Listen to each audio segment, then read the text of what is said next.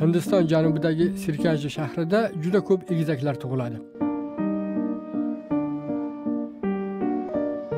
Hozir kamida 150 juft egiz maktablarga qatnaydi.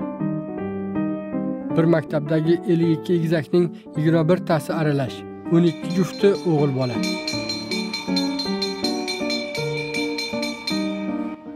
Hammadan ham ko'ra o'qituvchilarga qiyin.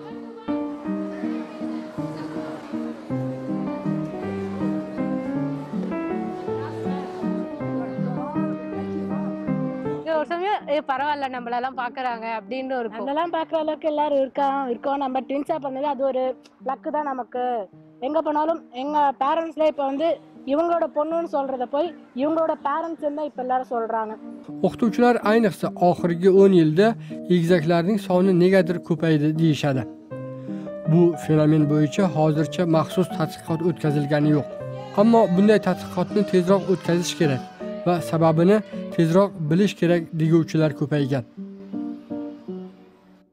எங்க அம்மா வழியில எல்லாருக்குமே ட்வின்ஸ் இருக்கு ona tomonimdan 3 avlodda egizaklar bo'lgan நான் twins o'zim ham egiz tug'ilganman va egiz qizlarning otasi ekanimdan faxrlanaman deydi sirkaji shaharchasining yashovchisi siva kumar